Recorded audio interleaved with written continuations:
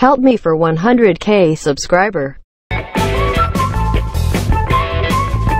Help me for 100k subscriber.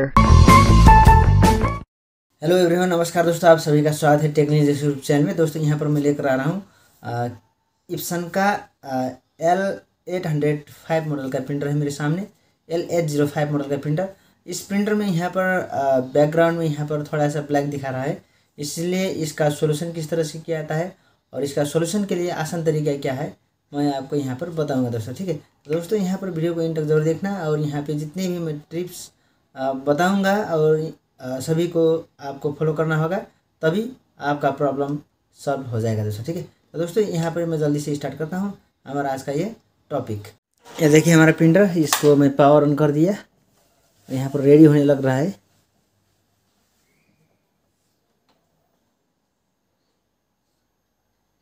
ये देखिए, हमारा प्रिंटर रेडी हो चुका है। रेडी होने के बाद यहाँ पर मैं एक कमांड करता हूँ। बिल्कुल, हमारा प्रिंटर अभी रेडी हो चुका है। रेडी होने के बाद यहाँ पर हम, मैं यहाँ पर एक कमांड करता हूँ, ठीक है?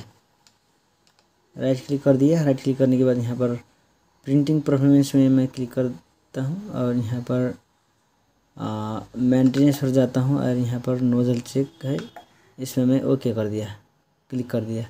और यहाँ पर नोज़ल चेक आ रहा है, ठीक है? तो यहाँ पर इसका मैं प्रिंट में क्लिक करता हूँ। ये देखिए, किस तरह का प्रिंट मिलता है।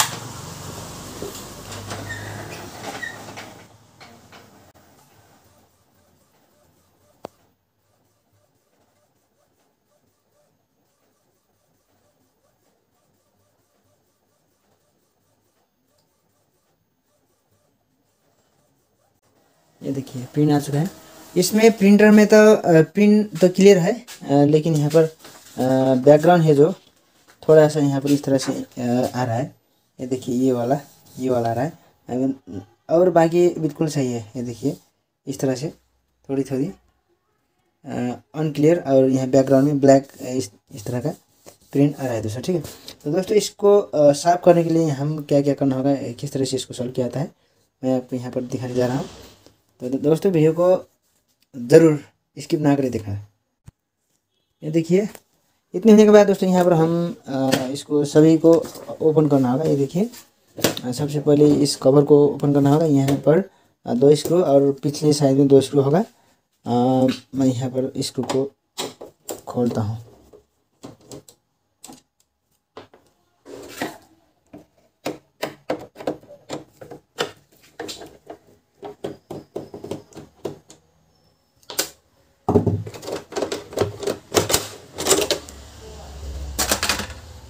यहाँ पर बिल्कुल दोस्तों, यहाँ पर दिख रहा है, ये देखिए।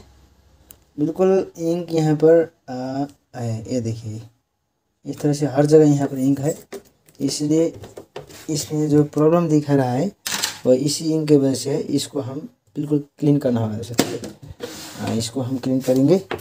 किस तरह से इसको क्लीन करना होगा, मैं आपको पूरी जानकारी दूँगा वैसे ठीक है?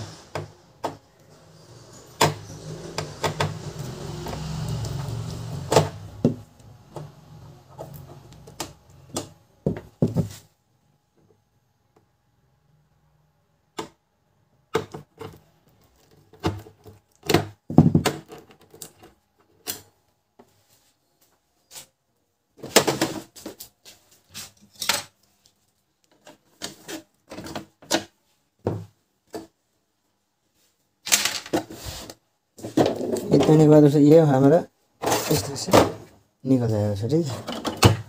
ये देखिए।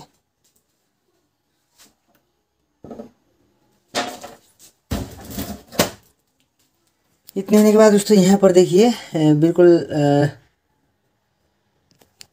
ये वाला हमारा ये है, इसमें इंग लगा है, इसीलिए ये प्रॉब्लम आ रहा है दोस्तों ठीक है? ये देखिए।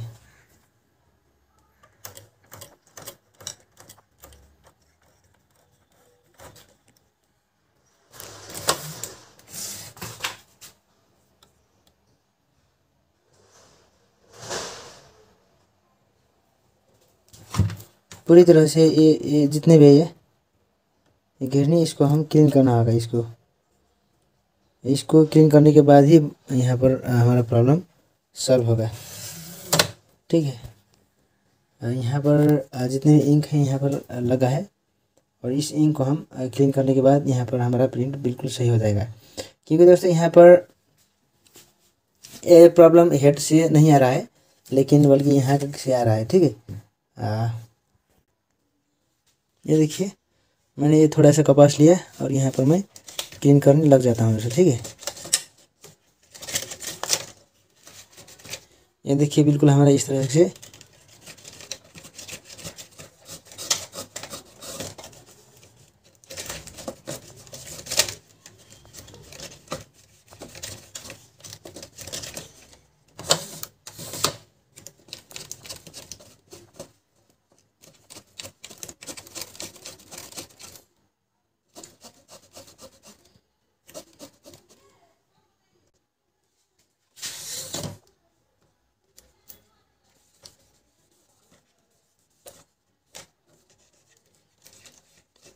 इसी तरह मैं यहाँ पर सब कुछ धीरे धीरे इसको क्लीन कर देता हूँ, ठीक है?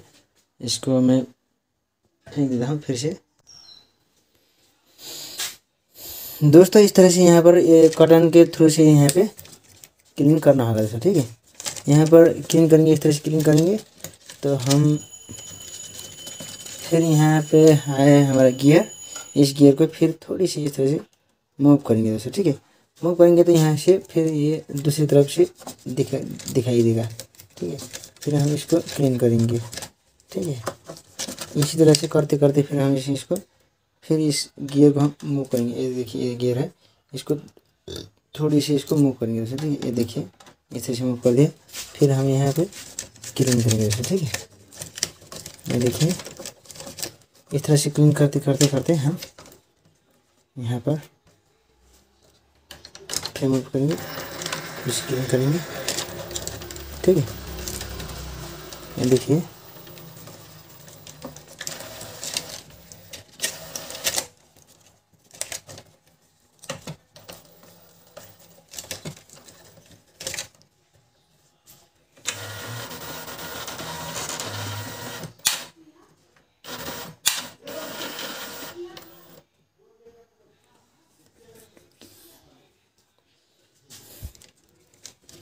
इसको क्लीन करने का तरीका ये है दोस्तों ठीक है।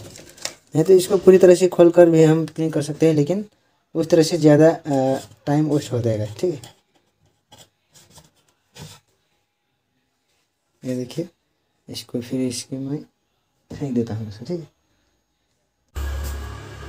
दोस्तों, यहाँ पर मैं सब कुछ यहाँ पर बिल्कुल क्लीन कर दिया। है जितने भी इसका ये छोटा छोटा रोलर है और नीचे वाला रोलर है, जो ट्रांसफ़र रोलर है उसी में जो इंक लगा था उसको मैं क्लीन कर दिया।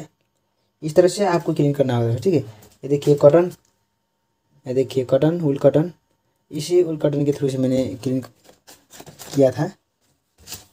ठीक है? इसी वुल कॉटन के थ्रू से मैंने यहाँ इस, इसी वुल कॉटन के थ्रू से मैं क्लीन किया था। क्लीन करने के बाद अब यहाँ पर मैं करता हूँ इसको टेस्ट करता हूँ दोस्तों ठीक है? टेस्ट करता हूँ टेस्ट करने के बाद फिर से यहाँ पे किस तरह का इधर देता है। ये रखा मैंने वाइट पेपर और करता हूँ कमांड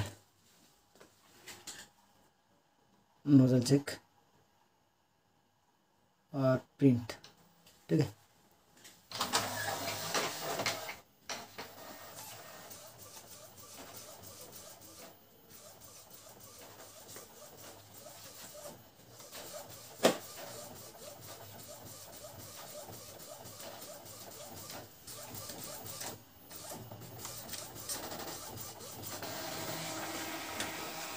ये देखिए दोस्तों बिल्कुल क्लीन प्रिंट है।